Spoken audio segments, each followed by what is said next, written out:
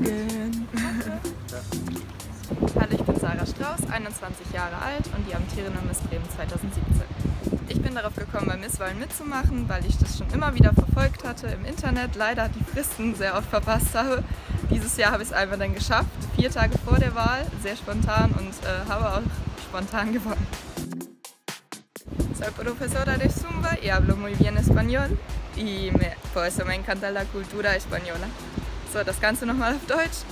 Ähm, ich bin Zumba-Instructor und spreche fließend Spanisch. Dadurch habe ich meine Leidenschaft entwickelt für das Spanische, bin auch sehr offenherzig und äh, mit Lebensfreude durchblutet. Ja, das ist so meine Geschichte.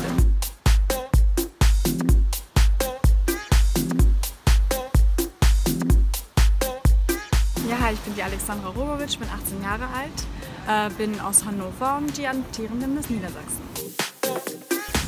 Mein Name kommt aus dem Serbischen. Meine Eltern sind beides Serben.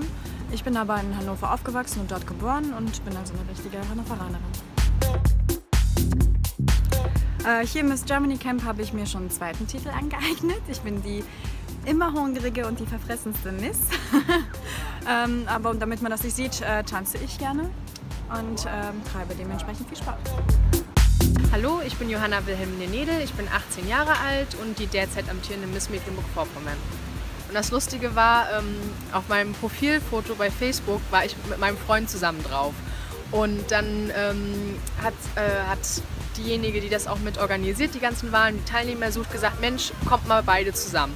Und dann sind wir beide da hingegangen und ja, das ging dann auch eigentlich recht schnell. Im Endeffekt bin ich dann die Miss Mecklenburg-Vorpommern geworden und er ist nur Zweiter geworden. Aber ihm hat es ausgereicht, also er war vollkommen zufrieden damit.